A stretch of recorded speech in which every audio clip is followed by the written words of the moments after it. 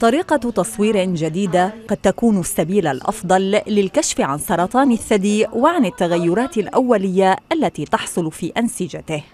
الطريقة هذه المسماة بإلاستوغرافي قد تلغي المفاهيم السابقة التي كان يعتمد عليها في تشخيص هذا المرض بدءا من الفحص السريري ووصولا للتصوير بالماموغرام. تعد تقنية إلاستوغرافي نوعا من أنواع التصوير بالموجات فوق الصوتية وهي تعتمد على قياس مرونة الأنسجة في الثدي وحجمها ودرجة صلابتها أيضا. وتستطيع هذه التقنية التفريق بين الآفات الحميدة والخبيثة كما تقلل من الحاجة لأخذ عينات حية سواء بالطريقة التقليدية أو الطرق الحديثة لأخذ الخزعة. وبحسب الأطباء فإن طريقة التصوير هذه متعددة الخيارات أي أنه يمكن تطبيقها على الكبد وتصوير الغدد اللمفاوية عند العنق وتحت الإبط. يساعد التشخيص الدقيق في الكشف المبكر عن سرطان الثدي مما يضمن العلاج والشفاء التام من هذا المرض. لكن ورغم التقدم الطبي في الكشف عن سرطان الثدي لا يزال الأطباء وخبراء الصحة يعولون على مدى وعي النساء بهذا المرض وبأهمية الفحص الذاتي ودوره في الكشف المبكر عن سرطان الثدي.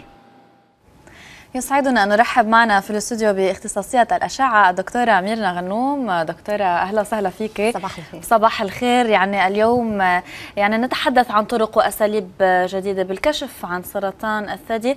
كما تحدث التقرير الذي أعدته الزميلة سلام نتحدث اليوم عن الإلاستوغرافي. يعني ما هي تحديدا هذا التقنية؟ الحقيقة أول شيء بدنا نصبح على الكل نحن بنحب نقدم كل جديد وكل شيء توصل له العلم والتكنولوجيا بالإضافات للأجهزة اللي موجودة عندنا الحقيقة طريقة ال elastography آه، هي عبارة عن إضافة آه، نوع جديد آه، من الأشياء لجهاز الإيكو سونار العادي. مثل ما بنعمل echo doppler بنستعمل الدوبلر لدراسة الأوعية. رح نستعمل ال elastography لدراسة أساوة الكتلة اللي عم نشوفها على شاشة الإيكو. يعني نحن هالطريقة الجديدة بتخلينا نقيس أساوة الكتلة اللي شايفينها على الشاشة مع قساوة النسيج الطبيعي. والجهاز بيعطينا حساب حسابات وجداول.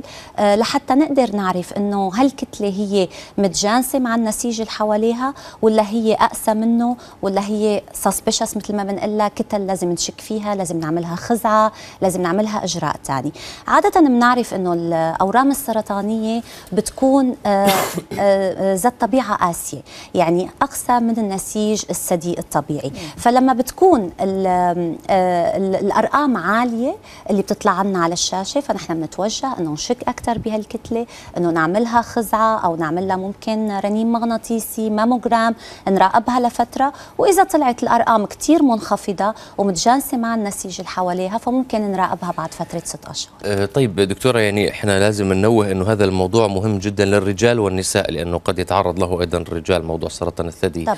أه هل تناسب هذه الطريقة كل سيدات ولا هناك محاذير معينة لا يمكن استخدامها لسيدات يعانين من حالة تختلف لربما؟ آه لا طبعا هي بتناسب كل السيدات وكل الأعمار وبتناسب السيدات والرجال كمان. هلأ ال elastography ما بس بنستعمله للثدي بنستعمله كمان للكبد بيساعدنا كثير خاصة بالحالات بنعرف شائع كثير تشحم الكبد أو شحوم الكبد. يمكن دخلنا بموضوع ثاني بس بتساعدنا كثير على أنه نحدد إذا هالكبد هالخلية الكبدية رح يصير فيها تليف بالمستقبل المستقبل رح تنأذى الخلايا الكبدية لأنه هي أشياء طبعا ما بنقدر نرجع فيها ونعالجها. فال elastography هي عبارة عن option جديد بجهاز ال echography مثل ما كنا شايفين بالريبورتاج آه، بيساعدنا على أنه نعمل قياسات معينة للكتل اللي شايفينها على الشاشة. طبعا بيفيدنا بالثدي كثير بالكبد مثل ما قلنا وبكتل وعقيدات الغدة الدرقية. طب دكتور ميرنا يعني نحن اليوم في أي مرحلة يعني نستخدم هذا التقنيه يعني عادة تنصحون بالكشف المبكر خاصة عند النساء يعني ابتداء من عمر الثلاثين إن كان يعني باستطاعتهن إيه. استطاعت بإمكانهن القيام بهذه الصورة. ولكن هل هذا قبل ال mammography ولا بعد ال mammography؟ آه طبعا ال elastogram نحن من بنباشر فيه آه فورا. لما عم صور أنا الست أو عندي حالة على بالعيادة وشفت أنا كيسة أو تليف شكيت فيه فورا من الجهاز بقدر أستعمل طريقة ال elastogram وأعمل القياسات اللي أنا لازمت لي آه نحن مثل ما قلنا من قبل بحلقات قبل إنه ال echography أنا كثير بشجع عليه من بعد عمر 30 سنة. يعني إذا في إمكانية إنه ينعمل سنويا بيكون كثير منيح خاصة للسيدات اللي عندهم قصة بالعيلة. آه كثير لهلأ بيجيني يعني خلال الأسبوع الماضي شفت أكثر من حالة. آه سيدات عندهم آه، قصة بالعيلة للوالده أو الأخوات أو الأقارب وما منكشفين لسه ولا عاملين أي نوع من التصوير. طبعا بالصدفة ممكن نشوف ألياف أكياس أوقات حتى بنشوف أشياء بتشككنا. فلو ما أجت على العيادة بالصدفة لعرض معين ما كان خطر لها يمكن إنه هي عندها قصة بالعائلة ولازم تفحص أكثر من غيرها. فنحن كثير بنشجع على الإيكو بعد 30 سنة الماموجرام بعد ال 40 بالنسبة لل elastogram بس نتعود نستعمله. بصير مجرد ما أشوف كيسة أو تليف فورا يعني بنستعمل ه ال technology الجديد في أي مكان في الجسم؟ آه الأكثر شيء مثل ما قلنا للثدي والغدة الدرقية والكبد, والكبد. آه فبنقدر فورا إنه لحتى نطمن ونطمن المريضة لأنه نحن كثير أوقات امبارح مثلا كان عندي حالة لست عندها قصه بالعيله وشفت تليف آه، قديم ومتنخر ومنه متجانس وحوافه متعرجة.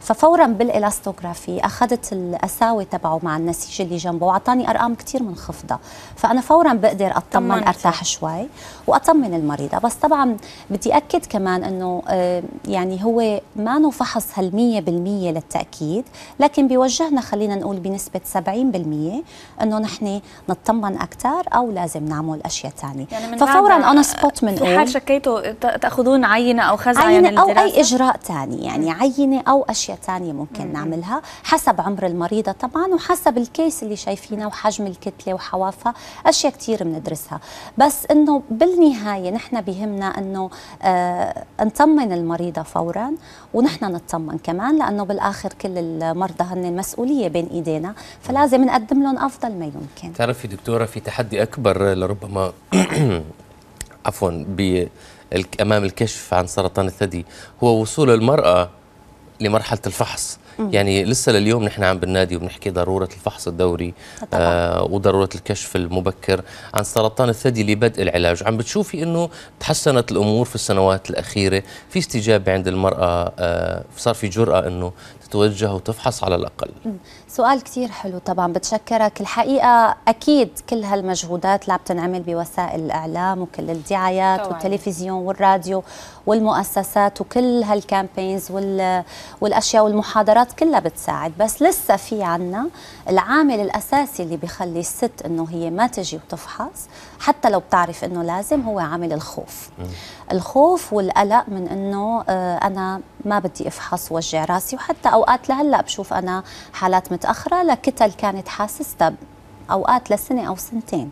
يعني ما زلت عم شوف هاي الحالات. طبعا قلت كثير عن قبل بس بنقول عامل الخوف هو العامل الأساسي اللي هلأ عم يخلي الست تتأخر بالفحص. دكتورة أميرنا شكرا جزيلا على حضورك معنا وعلى هذه المعلومات القيمة. نحن دائما يعني بانتظار كل جديد لديكم اختصاصية الأشعة. الدكتورة أميرنا غنوم شكرا جزيلا لك.